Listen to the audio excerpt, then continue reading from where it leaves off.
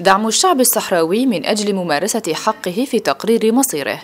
هو ما أجمع عليه المشاركون في الندوة الدولية العربية للتضامن مع الشعب الصحراوي مع التأكيد على ضرورة إيجاد حل عادل في حق الشعب الذي يناضل منذ أكثر من 47 سنة. نقف دائما إلى جانب الشعب العربي الصحراوي في نضاله لنيل الاستقلال وتقرير المصير.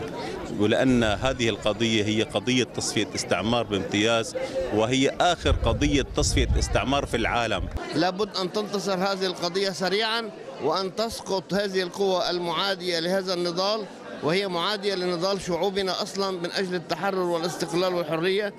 شهدت الندوة مشاركة قوية للدول العربية ويرى العديد من المشاركين أن القضية شهدت تعتيما على المستوى العربي والدولي مما يفرض إشراك الرأي العام العربي عبر وسائل الإعلام للتعريف بحقيقة القضية الصحراوية.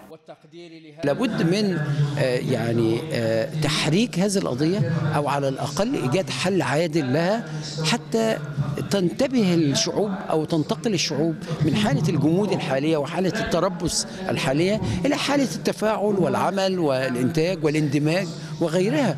هناك مظلمة يتعرض لهذا هذا الشعب لمدة 47 عام شعب تم تهجيره من من أراضيه.